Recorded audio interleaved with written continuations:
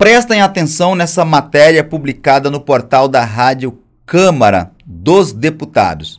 Pompeu de Matos aponta injustiça na correção dos valores dos benefícios do INSS. Vamos entender o que disse aqui o deputado.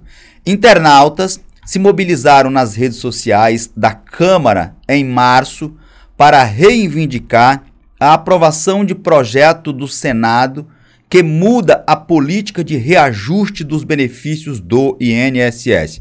Eu repercuti esse projeto aqui, inclusive mostrando na tela do seu dispositivo aí todas as informações.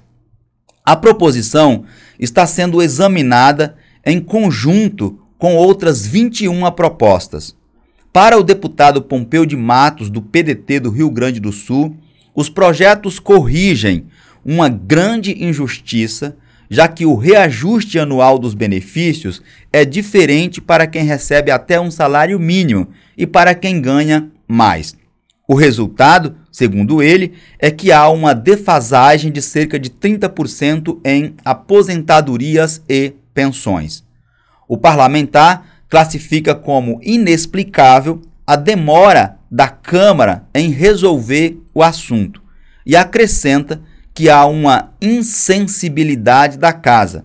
Pompeu de Matos destaca projetos de sua autoria que estão sendo examinados em conjunto com a proposta e que prevê ganhos diferenciados para beneficiários com mais de 75 e de 90 anos. O deputado justifica dizendo que, quanto mais velho fica o aposentado, maiores são as demandas em termos de despesas cotidianas. Tem um projeto de lei que está em tramitação que visa criar uma espécie de novo índice para reajuste das aposentadorias e pensões. Isto porque, conforme eu já expliquei aqui em outras oportunidades, o reajuste dos benefícios previdenciários funcionam da seguinte forma: todas as vezes que o governo reajustar o salário mínimo, também terá que aumentar o valor dos benefícios previdenciários, como aposentadorias e pensões, por exemplo. Agora, é importante compreendermos o seguinte: as pessoas que recebem com base no salário mínimo, por óbvio, ao aumentar o salário mínimo, o governo também concede um aumento automaticamente para todas essas pessoas. Por quê? Veja, eu recebo um benefício previdenciário de um salário mínimo, atualmente R$ 1.412. Logo, se o salário mínimo for reajustado, eu também terei o meu benefício reajustado automaticamente. Perfeito? Até aqui, totalmente compreensível, nenhuma dificuldade para entender isso. Ocorre que os demais benefícios, ou seja, daquelas pessoas que ganham acima do salário mínimo, serão reajustados pelo INPC, o INPC que é divulgado pelo IBGE. Todas as vezes que o INPC for reajustado, na data do aumento do salário mínimo, as pessoas que recebem benefícios previdenciários acima do mínimo também terão esse aumento. Acontece que o governo principalmente o atual, tem adotado um fenômeno chamado de política de valorização do salário mínimo.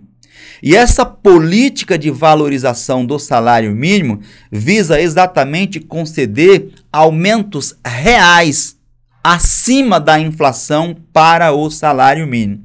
Ao conceder esse aumento real, ele fica superior a apenas a reposição que acontece no INPC. O INPC ele é apenas a reposição da inflação divulgada pelo IBGE. Então, esse lado aqui são as pessoas que recebem acima do salário mínimo. E aqui as pessoas que recebem um salário mínimo. Então, em termos práticos, a pessoa que recebe apenas um salário mínimo de benefício previdenciário irão ter um aumento em tese maior do que o reajuste das pessoas que recebem acima do salário mínimo. E isso, além de causar uma incompreensão por parte da maioria da sociedade, é visto também como uma injustiça para aquelas pessoas que contribuíram mais durante toda a sua vida laboral, durante toda a sua vida como trabalhador. E por essas razões é que existem esse tipo de posicionamento como o do parlamentar e os projetos que foram criados. Um inclusive de autoria do senador Paulo Paim, do PT, lá do Rio Grande do Sul, ele criaria um índice que deverá ser observado pelo presidente da República ao conceder um aumento nas aposentadorias e pensões. O que está dizendo basicamente em termos simples para que vocês compreendam. Vai permanecer o INPC? Perfeito, porque o INPC ele é uma reposição inflacionária. Só que aí, além da reposição inflacionária, o governo também teria que observar o índice de correção previdenciária que será criado por conta desse projeto de lei. Então, na prática, resultaria em sempre na concessão de aumentos reais, além da reposição inflacionária, os segurados da Previdência Social teriam também um aumento real, porque o governo teria que observar esse outro índice que pretendem criar para que o governo siga essas novas determinações legais. Todo mundo conseguiu compreender até aqui? Escreva aí nos comentários se você entendeu o que eu te expliquei até aqui. E aproveito a oportunidade para te convidar a compartilhar essas informações em suas redes sociais, notadamente no Facebook e nos grupos de WhatsApp que você participa. E clica em seguir ou inscrever-se aí em algum lugar na tela do seu dispositivo. É importante que você acompanhe as nossas publicações a fim de manter-se informado sobre esses e demais assuntos do seu interesse. Um forte abraço e eu te vejo na minha próxima apresentação.